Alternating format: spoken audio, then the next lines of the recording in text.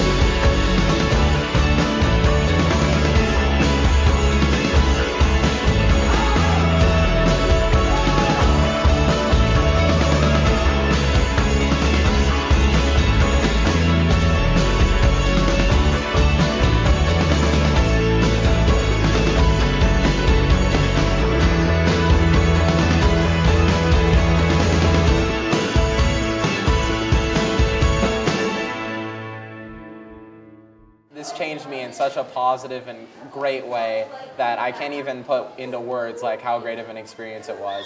And I would say that definitely you should work as hard as you can in the application to try to get in because this is a once in a lifetime experience and I'm so grateful that I got a chance to, to use it. I knew that this was going to change me, but the people here are so much more beautiful than you can imagine and so much more welcoming than you could have imagined. And so that really surprised me and really shocked me more than I thought that it would. And just, they don't know a stranger here, and so that was really impactful. And I guess it just really opened my eyes to, um, it just really confirmed what I want to do. You know, I can't, I can't hardly remember last week. This, uh, this whole process, this whole experience has been absolutely life-changing. You know, uh, I guess last week I was just a kid, uh, not sure what he was going to do in school or what he planned on doing a career, but now I'm pretty, I know, I think I know exactly what I want to do. There hasn't been a moment, even, even a slightest moment that uh, I felt like, oh, I can't wait for this to get over, or I'd rather not do this. I mean, even even the cold showers aren't bad. So A week ago, I would have never expected to like the food or like living in Africa because I'm used to my TV, my iPod, my computer all the time, and just pretty much a spoiled American kid. But now it's like this is so much easier, simple life, and I love it here. I'm a picky eater, but I love the food. It's natural, it's no preservatives, it's amazing, and I love the people, and that's another thing I didn't expect. I expected to be so much of a difference between us that the gap between us could never be filled, and now I'm like, I feel part of this community now. I uh, feel like I'm a completely different person. I feel like there's things I wasn't sure about myself, and it's kind of unexplainable, but I feel a little bit stronger about who I am, and there, I kind of figuring out more of what I kind of want to do. I want to help others, and this is an op- this opportunity has helped me realize that I can do a lot. For me, I would not be as much of a person as I am today if it wasn't for this program. And that seems like a rather large statement to make. But I have more confidence than I've ever had before about the fate of the human race. We, these, these students have shown me that it doesn't matter what um, challenge you face, you can always, through community, be much stronger than you are alone. I don't think you can come here and come away from this and be completely the same person because you just there are no people like the people here in Tanzania. They're just so kind and selfless. They're like the most selfless people I've ever met, and um, they're really strong. And they have this inner fire, this like spirit that you don't see in everyone.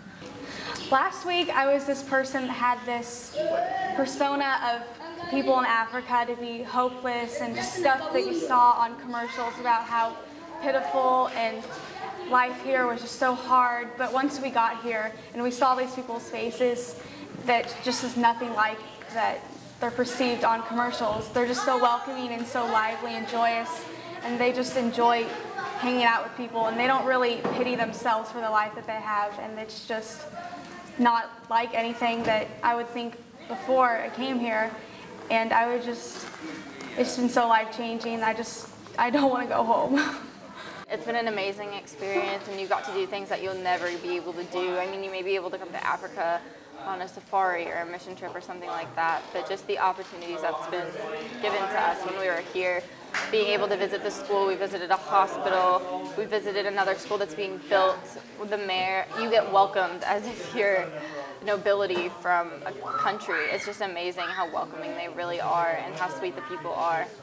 And the fact that we got to help Shawn also and the cocoa and the business aspect of it, which most people wouldn't be able to do, was, the, was a really cool part of it too, and meet with his farmers.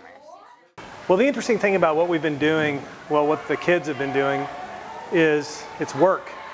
And these kids are not tourists in Tanzania.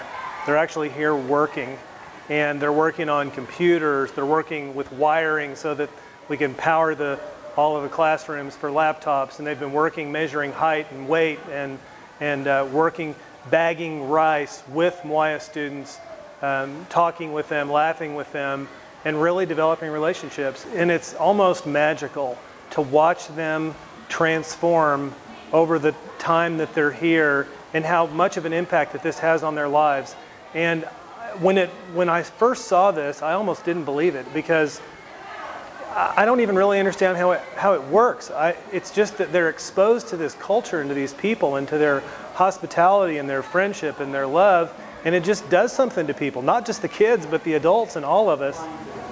I say to students who are, are thinking about this in the back of their mind, and if they're really on the fence about what they want to do with their lives or how they want to make their lives richer before they go to college, help them make decisions about what they want to do in life. Maybe they don't want to graduate from college and live in Africa for the rest of their lives, but maybe they want to find a way to serve people, to serve people in America, to serve people in their community. And there's something about this trip that lights that spark and that gives people inspiration and imagination about what they can do and give their life meaning in the future.